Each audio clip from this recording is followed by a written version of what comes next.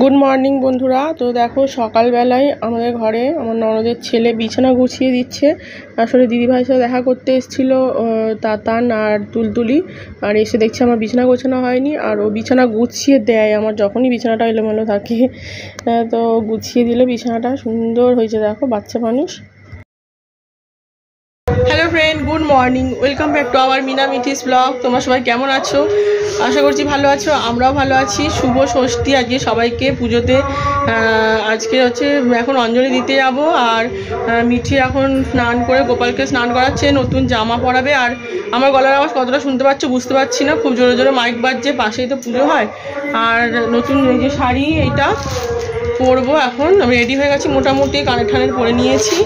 আর এই শাড়িটা পরতে যাব মেসির কাছে, আর এখানে আমার লোকনাথ বাবাকেও নতুন জামা পরিয়েছি, গোপালেরও নতুন জামা আনা হয়েছে, সেটা মিঠি পরাচ্ছে। তো চলো রেডি হয়ে আসি, আর সকালবেলা তোমাদের সাথে দেখা হয়েছিল মানে এই তুলতুলির ওরা সব তাতান বিছনা গোছাচ্ছিল আর তারপরে ভিডিও করা হয়নি।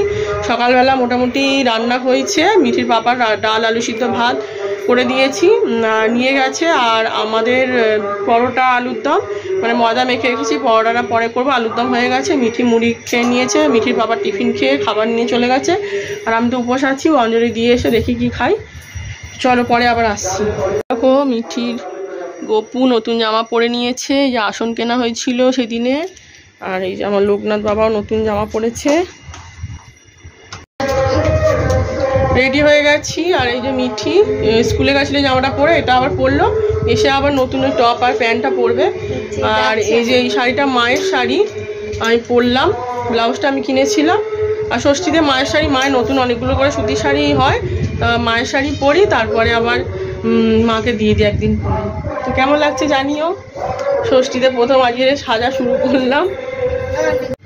তো এই যে বেরিয়ে পড়েছি আমরা, এই যে মেজদি দাঁড়িয়ে আছে, এখানে দিদি দাঁড়িয়ে আছে আর বড় মার জন্য আমরা ওয়েট করছি।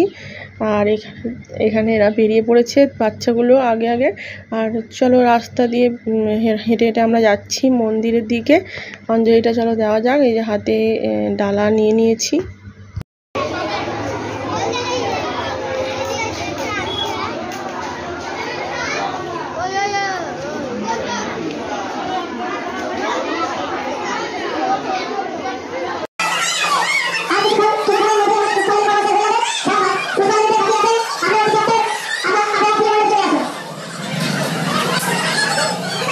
দিয়ে চলে এসেছি। এখন বাজে হচ্ছে পৌনে একটা। আর দেখো মিঠি সব উম, ব- মিঠির বাবা এগুলো আবার মিঠিকে দিয়েছে সাজা গোজার জিনিস। এই যে ক্লিপ নেল পলিশ লিপস্টিক একটা সেট। গলার সেট। এই যে। টিপের পাতা। এখানে আলুর দম আমি সকালবেলায় করে রেখেছিলাম। এই যে। আর এখানে ময়দা মাখা ছিল তিনটে পরোটা করলাম। হ্যালো ফ্রেন্ডস এখন সময় হচ্ছে চারটে পনেরো বাজে। মিঠিকে নিয়ে এখন বেরোচ্ছি। মিঠিকে ডান্স ক্লাস আছে মিঠির আজকে ওর একটা প্রোগ্রাম আছে, দশমীর দিন একটা নাচের প্রোগ্রাম করবে। তো সেইটারই প্র্যাকটিস হবে। তাই জন্য নিয়ে যেতেই হবে। অন্য এমনি ক্লাস হলে আর যেতাম না যে ষষ্ঠী। এমনি সেরকম কিছু খাওয়া টাওয়া হয়নি। মানে পরোটা খেয়েছি তাও আমার কাছে সেটা কিছুই না। ভাত প্রেমী মানুষ। তো যেহেতু আজ ভাত খেতে পারব না, পরোটা খেয়েছি। আর ইচ্ছা করছে না গিয়ে ওখানে বসে থাকতে। হবে অনেকক্ষণ বসে থাকতে হবে। নাচের ক্লাস আছে, এখন নিয়ে যাচ্ছি। মিঠি হচ্ছে বাইরে বাইরে দিয়ে ডাকছে আমাকে।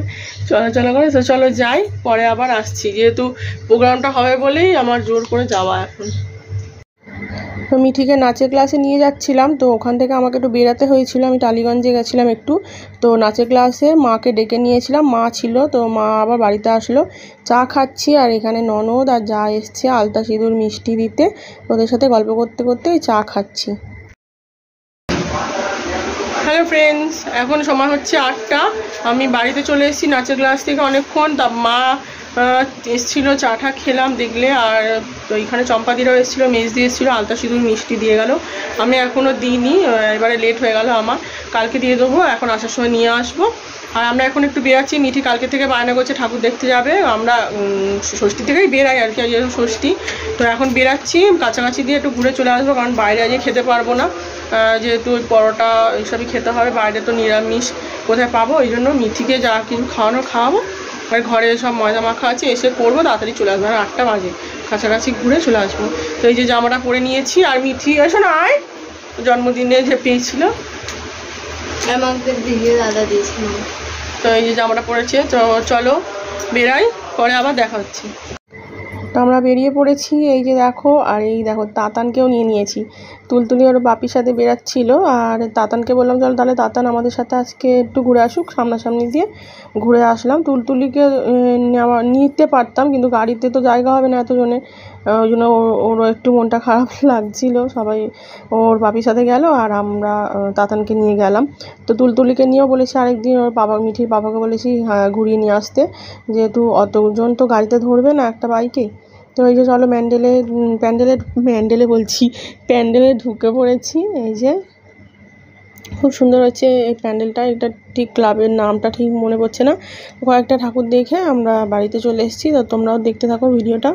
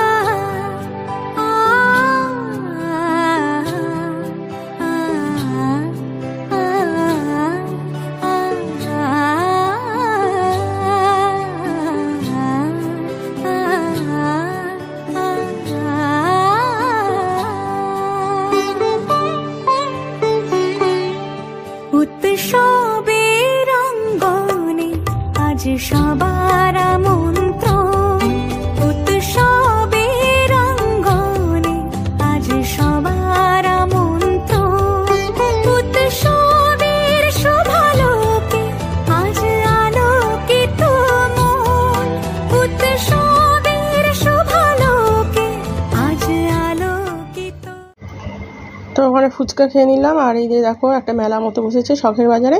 এখানে আবার এই যে জাম্পিং জাপাং বলে এটা, এই মিঠি দেখলেই এটা বায়না করবে। তো দুজন মিলে ওটা একটুখানি খেলে নিল। তারপরে শখের বাজারের প্যান্ডেলটা দেখতে ঢুকলাম। সব প্যান্ডেলই খুব সুন্দর করেছে।